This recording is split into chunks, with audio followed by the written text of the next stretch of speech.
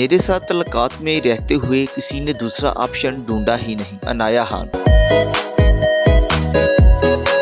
Model अदाकारा गुलकारा अनाया खान ने दावा किया कि उनके साथ तलकात में रहने के दौरान कभी किसी मर्द ने दूसरा ऑप्शन ढूंढा ही नहीं। अदाकारा ने हाल ही में एक टॉक शो में शिरकत की, जहाँ उन्होंने शोबिस कैरियर समेत जाती ज़िंदगी पर खुलकर बात की और ये भी बताया कि उन्होंने आज तक शादी नहीं की और उनका रिश्ता अजदवाज में का बंधने का इरादा है। अनाया खान ने दी नाइट शो अया समूह में शिरकत की, जहाँ उन्होंने बताया की उनकी परवरिश अमरीका में हुई, लेकिन वहाँ रहते हुए भी उन्हें पाकिस्तानी ड्रामों में काम करने का शौक था। उनके मुताबिक उस जमाने में पाकिस्तान में मुतद निजी टीवी चैनल्स खुले, जो अमेरिका में देखे जाते थे, और वहाँ पाकिस्तानी ड्रामों की तारीफें होती थी, जिस वजह से उन्हें पाकिस्तानी ड्रामों में काम करने का शौक हुआ। उनके मुताबिक वो अच्छी ब्रेक और क्लासिकल डांसर है। वो अपनी डांस की हर रोज वीडियो बनाती है, लेकिन सोशल मीडिया पर पोस्ट नहीं करती, क्योंकि पाकिस्तानी लोग तंग नज़र है, वो डांस को अच्छा नहीं समझते। जब उनसे पूछा गया, डेढ़ साल कबल उन्होंने शादी का अरादा कर लिया था तो शादी क्यों नहीं की? जिस पर उन्होंने मुझसे जवाब दिया कि उन्हें ऐसा कोई लड़का ही नहीं मिला जो शादी के काबिल हो। अनाया खान का कहना था कि फौरी तौर पर उनका शादी का कोई इरादा नहीं। और ये भी कि भरोसे वाले शख्स का मिलना भी मुश्किल है, क्योंकि यहाँ पे निन्यानवे फ़ीसद लोग मुनाफक और झूठे हैं। उनके मुताबिक बाहर लोग खुश हलाक और अच्छे होते हैं, लेकिन दर हकीकत वो सच्चे नहीं होते। और निन्यानवे फ़ीसद मर्द धोखेबाज होते हैं। शादी और झूठी मोहब्बत के हवाले से बात करते हुए अनाया खान ने मजीद कहा कि ज़्यादातर लोग झूठ बोलते हैं, कहते कुछ और है और करते कुछ है। जब उनसे पूछा गया कि कभी किसी मर्द ने उन्हें भी धोखा दिया तो पर अदाकारा ने दावा किया कि उनके साथ तलकात में रहने के दौरान कभी किसी मर्द ने दूसरा ऑप्शन ढूंढा ही नहीं।